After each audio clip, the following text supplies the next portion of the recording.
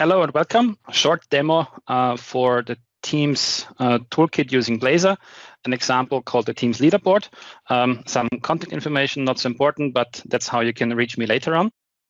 In terms of, of Teams development, you probably all know or heard about all the different options we as developers have to integrate, enrich, enhance uh, whatever euphemism you want to use uh, the Teams platform. And there is something new uh, in the making. It's still in, in preview and not released. So I expect this slide actually, or I hope that or there is somebody already working on a newer version from this slide for Ignite in a couple of weeks. But uh, we have since a couple of weeks the option with Teams FX, uh, the Microsoft Teams framework, two options actually to create team solutions in a different way. There's the Teams toolkit for Visual Studio Code that is based on top of your well-known and respected technology from TypeScript, Node.js, JavaScript to create applications uh, that way. And there is also uh, an option to go to the .NET way using Blazor uh, for Visual Studio 2019, and that's something we're going to focus uh, today. So that's Teams FX. Um, we already had a PNP call, I think, a couple of weeks ago. So I'm not doing the, the total introduction, but there are links in the presentation to videos and articles that really get you going. But today we want to make an example. And for that example, we want to set the reference right and make a short uh, business case. Um, in, in a dream world, there is the mindful Teams consultant him or her, doesn't matter, uh, sitting somewhere nice and thinking of what is really needed. And what's really needed is happy users, happy end users. And there are different ways to reach that. And one, of course, is uh, use gamification. And that's what we are doing with the, with the leaderboard. But with gamification, you need to be a little bit careful because if there are winners, there are also people on the other side of, of the table. Uh, so be careful. Um, and my parents always told me that you can learn nothing from watching movies, and actually that's false when you see that quote. Um, enough from PowerPoint. Um, let's right, uh, dive right into the demo. The leaderboard is running in the back already here. is a, a Teams application. I'm going to show you the application up front, and then we can walk through the code. It's a simple static Teams tab at the moment. Um, I'm logged in on my developer tenant. I can have a look at a team let's go for the PNP demo team. And there is a channel selection, and I have the scoring lab channel here. It refreshes, and then it scores uh, points and gives a leaderboard. Um, what's that all about? Uh, we have here in a different world, I'm logged in as, as Chris Kent. Uh, so to make that more interactive, we have this scoring lab channel here, and you see uh, there are yeah channel messages, replies, um, interactions with, with emojis, and all the typical stuff that you do in a channel. And the leaderboard actually counts all those things. So we give different uh, amount of points for um, messages. We give points, extra points for a message with a subject, because everyone likes to have proper subject in a, in a Teams channel. And of course, we have reactions here. So when I, as Chris, just copy one of his last tweets over here to really have something powerful to say to my rather senseless comments. So I post it here. And if I switch back to my other view, you see here, as first, of course, I get the information. Um, I'm switching back and just have 14, 13 here, switching back to channels. And you see uh, I got more points now. So that's a, a live uh, grabbing all the, the channel messages and going through that um, and counting all the different scores. How's that built? Let's stop the debugger for a second. Um, that's actually built with Teams FX, um, the component you get when you install the Teams uh, toolkit for Visual Studio. How do you do that? You click on Manage Extensions over here and just search for Teams. And be careful, take the Teams Toolkit Preview. There is a different one for Teams also that's outdated, but the Teams Toolkit Preview is the one that you want to have. Um, you need to do that still in Visual Studio 2019. It's not available yet in Visual Studio 2022, but you can start your uh, solution here and then open it with the new version as well to make all the fun with hot reload and .NET 6 working. But for today, we stay with the with the simple version in, in .NET 5. Um, it's one tab here. So it's a simple tab um, that uses some some components that are open sourced. I'm not 100% sure how to pronounce that, so I, I, leave that out. But there's a data grid and some columns that is actually the uh, the, the board, and there are two drop downs with values. And of course, the, the drop downs gonna pop, are populated at the beginning with our teams. So when we at first render the page, at first we gonna set up Teams FX. That's actually uh, a class, a helper class that comes with the Teams toolkit. It's down here, Teams FX. So if you create a new project, you already get the project scaffold that way. In that case, I only added, I think, 60 or 80 lines of code in there. So the structure is the same when you when you start now, and it's also already um, creating this uh, first on after render async method. So you just need to add your own code here. Um, and my code down is here. So I'm adding uh, a get teams method, and the get teams method uh, gets a graph service client. And the graph service client is also something you get from the Teams toolkit. Basically, it's already authenticated. It is using a single sign-on. How does this work? When you start first time with your Teams FX project, go to project, you have this point Teams FX here, and you can click Configure for SSO.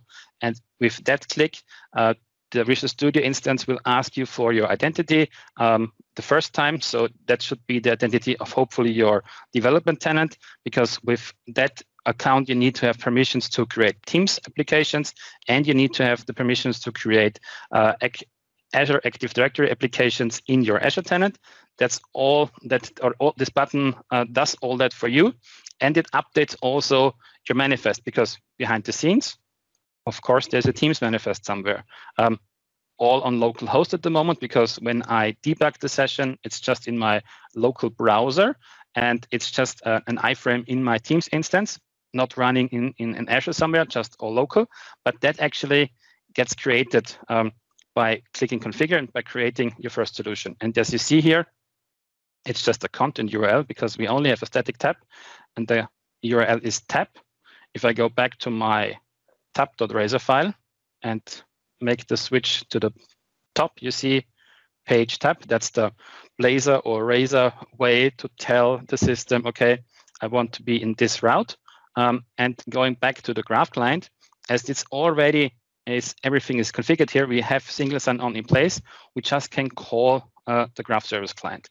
Behind the scene, what is happening, uh, Teams FX in a Blazor way is basically uh, a, a, wrapper component uh, using uh, JavaScript interoperability between Blazor and the Teams SDK, and they are using uh, the Teams uh, JavaScript SDK in the background to get uh, your bearer token. And if you uh, double click on the graph service client, in the end of the day, JavaScript code grabs your token using the SSO behavior of the Teams SDK, and then it hands over uh, to um, the .NET graph uh, client and says, okay, let's create a new graph client. I already have a bearer token for you. Let's use that. And then we have graph client here. And with that client, we can just go and list all our teams. Very simple, me join teams and get back and then sort it to have it properly nicely sorted in our um, drop down. And from there, we only need to add code that does something, of course, when the teams drop down changes. Uh, when that happens, we're going to search for all the channels in that selected team. And then we're going to do something when you select something in your drop down from the channels, because you first select your team, then you select the channel, and from there we're going to start and load score data. And the score data basically um, is then going to go and say, okay, I know now the team ID, I have the channel ID from my um, selection from the drop down. I, I kept the uh, starting point there because you, all you what you see here is already uh, up on GitHub. And for reference, just to get started very quickly or for developing purpose, it makes sense to sometimes start quickly, provide your team ID, provide your channel ID, and you're sure, and you don't need to double click all the selection points. So hard coded values are also possible, um, of course. And then you're going to fetch all the messages. And for all the messages, uh, we're going to look for, okay, does the message have a subject? If the subject is not null, then the subject exists. And then we say add score from the user ID, from username. And then we have a sophisticated scoring model that basically says, I think, seven for a message uh, with a subject and we add that through. So with subject, with other subject, and then we're counting reactions. But we want to have all the messages and all the replies also in our calculation. So for each chat message, we also go in there and call again the graph and call all the different replies. And again, from the replies, we are also scoring, uh, is it just a reply or is it a reaction on the reply?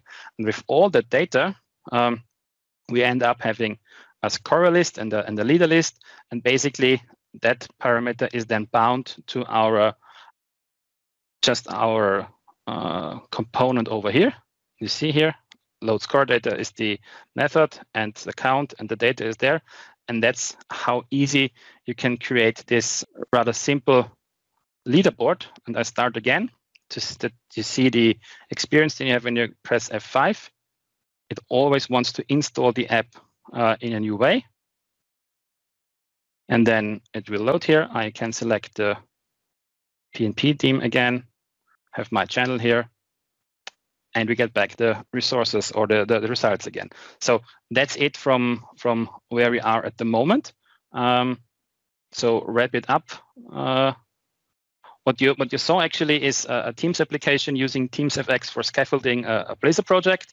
We called a graph to retrieve messages and did some uh, counting and counted messages in a certain way to create a leaderboard and created a, a small component uh, to make that available as a tab.